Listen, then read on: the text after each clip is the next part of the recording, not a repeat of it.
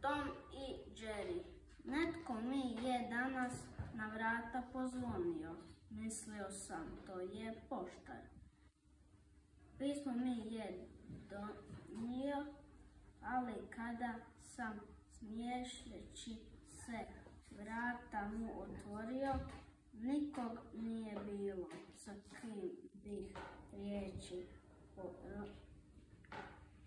razborio, ni poštara, ni šoštara, ni kloštara, ni moštara, ni.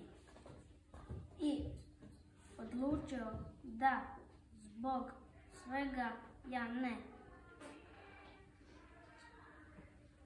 učim kad zatvorit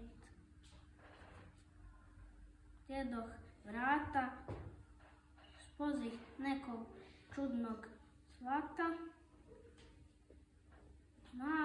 crnu macu kako pruža šapicu ni na prvog prvog moje